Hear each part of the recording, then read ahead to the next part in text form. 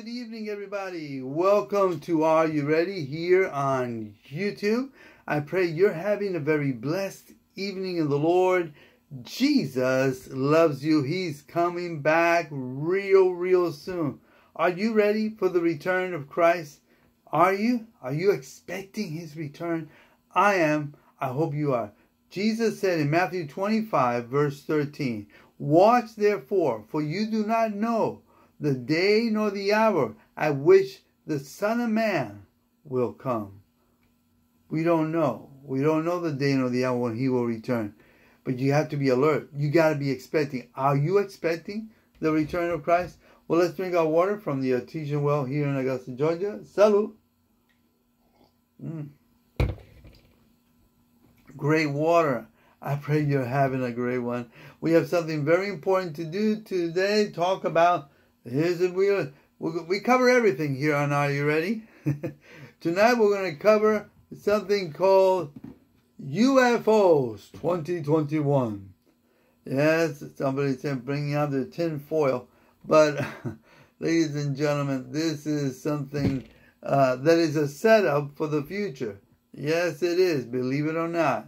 Let's pray. Heavenly Father, we love you, we praise you, we adore you. You are Jehovah Jireh. Jehovah Tsidkenu, Jehovah Rapha, Jehovah Nisi. You are the creator of the universe. We thank you. Te damos gracias y por tu misericordia y por tu ayuda. Thank you for your grace and your love. Holy Spirit, direct everything I say. Let it be for your glory. In Jesus' name I pray. Amen. Once again, thank you for joining us here on Are You Ready on YouTube. All right. Here we go. I got my NASA hat. How about that, huh? Okay, here we go. UFOs 2021. Have you ever seen any of those old movies? I have.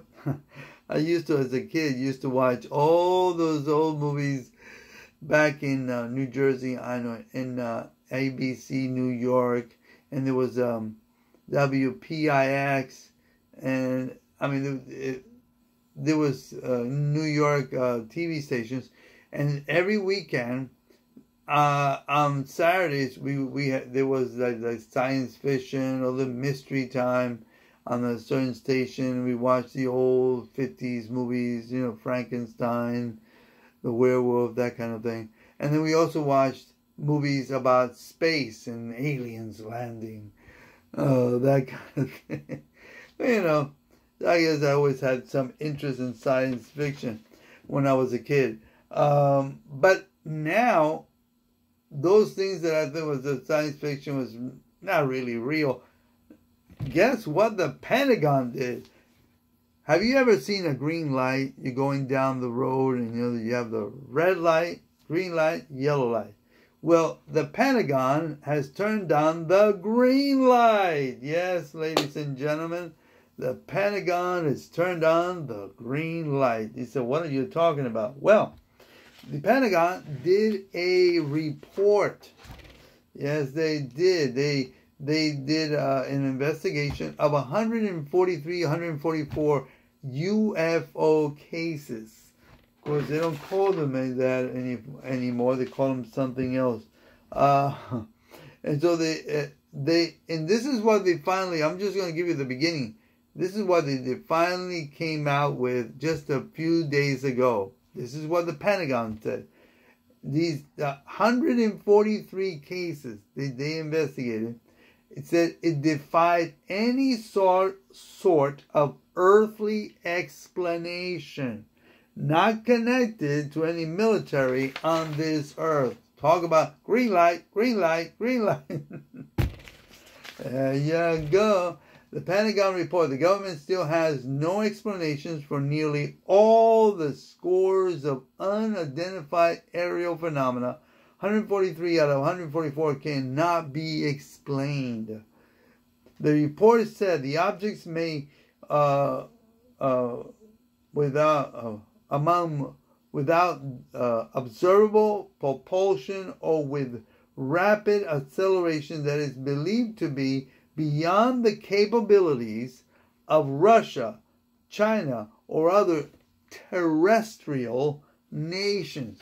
They said Ladies and gentlemen, this cannot be done on this planet. Well, they just opened the door. Now everybody said, everybody who believes in UFOs is that, did you hear what the Pentagon said? It says, it didn't come from here. Oh, there you go. It came from somewhere else. Hmm. It is a nine-page document, largely inconclusive, too little data to draw a conclusion about many, many of the episodes, officials said. On Friday, they did not want to admit it may be extraterrestrial crafts. Hmm. The UFO 2021, uh, among the unexplained incidents on three high profile videos of aerial phenomena taken by the U.S. Navy. This is an interim report. In another 90 days, they're going to be bringing another report to the Congress about the same thing, UFOs. They're going to be continuing to investigate. Five categories of possible explanations to the phenomena. Number one, it was a secret technology developed by Russia and China. That's a possibility. Number two, classified American technology. Number three, naturally occurring phenomena. Number four, airborne clutter. And number five, extraterrestrial technology. E.T. Want to go home? E.T. go home. Yes, ladies and gentlemen, believe it or not, the Pentagon plans to seek help from scientists you know, reminds me. you know, there was a movie. I think there was a movie where they did that. They brought a scientist. I don't know if it was Independence Day or some other movie where they brought all these scientists. Even in the 1950s, they were saying, "Let's bring these bring them well-known scientists to figure this out. What is this? Where did it come from? Where does it come from?" So they listen. They, they, this is this is not a joke. I'm not making it up. This is not Independence Day. This is not when the world stood still. This is the Pentagon 2021. Again, Pentagon 2021 said the Pentagon plans to seek help from scientists and experts who in the past have avoided talking about UFOs can join the team. Is it for real? So, in other words, they're get, they're looking for scientists around the world to join a team of scientists to investigate. Are there, are there UFOs? Where do they come from? Hmm. What are UFOs? Unidentified flying object, and I and I think they call it. They don't want to call it unidentified unidentified aerial phenomena. That's what they're calling it now. UAP. Unidentified aerial phenomena instead of UFO. Because they, what happens, the Pentagon says the UFOs has had about, we don't want to be connected to that. Because it, it, says if we start saying UFOs, then they're going to think we're going to have, be wearing that tin foil on our head and you know that stuff. They're gonna be calling us crazy. We're not. No, wait, wait. We're talking about this, but we're not like those people over there. We're not like those nuts out there, crazy people waiting for, you know, waiting for the ship to land. Like we're not like them, so we're not gonna call them UFOs. We're gonna call them uh, unidentified aerial phenomena, UAV. Okay, unidentified flying object is an aerial phenomena that cannot be immediately identified or explained. Most UFOs are unidentified or investigated as conventional unconventional uh, objects. You know, something that just happened. It's no real. Now, a little history of the UFOs in the United States. The first well-known UFO sighting occurred in 1947 when a businessman, Kenneth Arnold, claimed to see a group of nine high-speed objects near Mount Rainier here in the U.S. He said the speed of the objects was a thousand of miles per hour. And then we have Project Blue Book, ladies and I when I was in high school, I did a book report or uh, I don't know if it's a term paper or a book report on UFOs. And I started investigating, doing research on UFOs. The history of UFOs, Project Blue Book, and I remember that. Many of the best known claims uh, came from Project Blue Book, Blue Book, U.S. government program, which existed from 1948 to 1969. During that time, they looked at 12,618 sightings of UFOs, or as they say today, unidentified aerial phenomena. 701 of them they could not be identified. I repeat, 700, 701 could not be identified. Ladies and gentlemen, we are living in the last days. We're living in the last days. Uh, now, what what are these things? Okay, these things that are being seen all over the place. And like I said, when I was a kid, that that when I, I mean we're talking about 40, 40 I'm, I'm 60, and when I was a teenager, uh, back in the 70s, that was big. Was people were talking about it all the time, and movies were made. Remember, uh, E.T. Uh, then Close Encounters of the of the Third Kind, uh, and all these uh, movies began to happening. A lot of these, uh, you know, again because it, it goes in waves. One moment people have a great interest in, and they don't, and then it goes up and down, up and down, up and down. I guess we're up again. Uh, but now the government has given them those who believe what could happen in the future. It is a setup for the Antichrist, ladies and gentlemen. When the rapture happens, ladies and gentlemen, let me read you here. Let's go to Luke. Luke chapter 21. Let's quickly go to Luke and we're going to pray. Luke chapter 21. Luke chapter 21. Let's go to Luke chapter 21. Luke 21, verse 25. Now listen to this. Luke 21, verse 25 says, And there will be signs in the sun, and in the moon, and in the stars, and on the earth distress of nations, with perplexity, the sea and the waves roaring. Now, when I want to look at first of all, let's look at this. There says there are going to be signs. On these signs, people seeing these things in the sky, semeion, which is miracle, mark, or a, a token ID or an indication of something happening. An unusual occurrence. I repeat, the word same my own means unusual occurrence. What are we talking about? These things are called unusual occurrences. Then Jesus said that it will be, this is Jesus Christ, that there will be what? Distress of nations. Well, the, I don't know, there is distress in America, maybe in other parts of the world and Sten Oak. And I think that would be a, an interesting setup for the Antichrist in the last days, when the rapture happens, cuando ocurre el arrebatamiento y toda la gente desaparezca. That what I just said in Spanish, when the rapture happens and everybody disappears, people are going to say, where did the people go? Where did they go? Oh, that's it. Remember when the Pentagon said those people are real. The, the, the aliens took them. The aliens took them. Ladies and gentlemen, it's a possibility. Now, the word uh, perplexity is the Greek word aporia. Aporia means anxiety. There will be anxiety on the earth.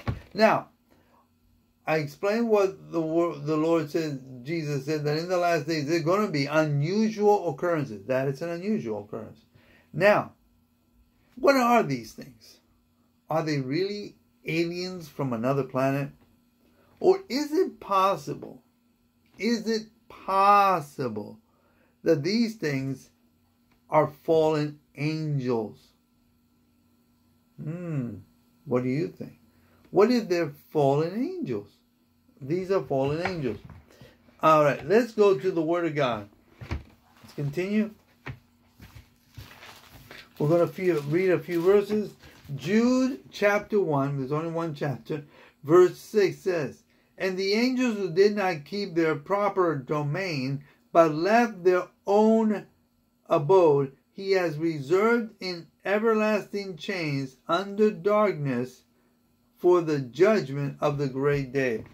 Again, could these be fallen angels? Let's go to Second Peter chapter 2.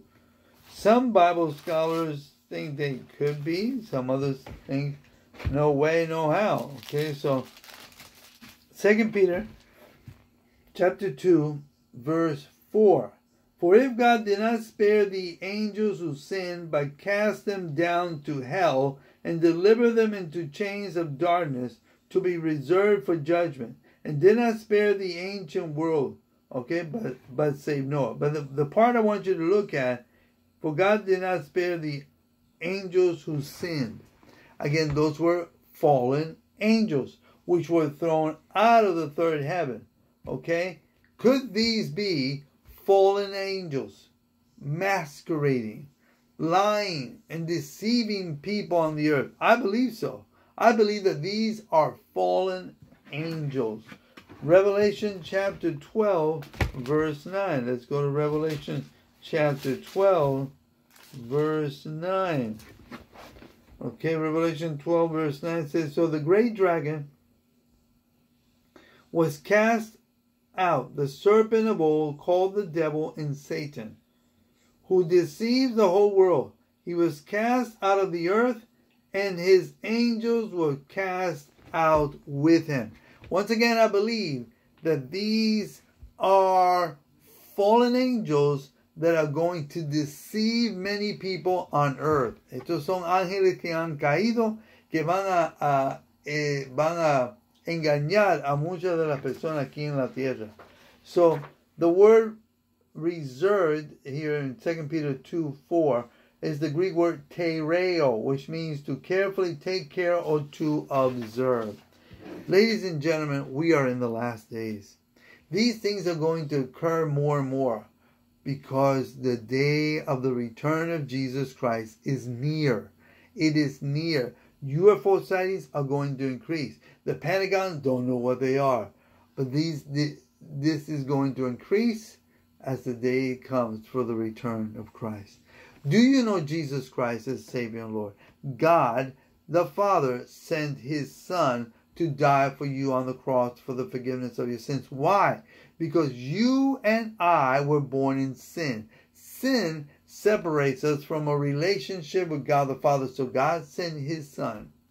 God sent His Son, His only Son, for God so loved the world that he gave his only begotten Son, that whosoever believeth in him should not perish, but have everlasting life. So God sent his Son to die for you on the cross for the forgiveness of your sins. And on the third day, he rose again. Right? In whom we have redemption through his blood, even the forgiveness of sins. What would you have to do? Well, if you want to be be changed, you can't do it on your own. You need a redeemer. He paid the penalty and he asked you to receive him into your heart, accept Christ as your Savior and as your Lord. And what happens when you do that? Your name is written in the Lamb's Book of Life, and you're going to be with him forever and ever.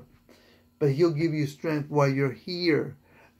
Jesus said in John 16 33, These things have I spoken unto you, that in me you may have peace. In the world you shall have tribulation. But be of good cheer. I have overcome the world. Hallelujah. He overcame the world. Jesus Christ overcame the world. Hallelujah. And he's saying, Come home. Come home.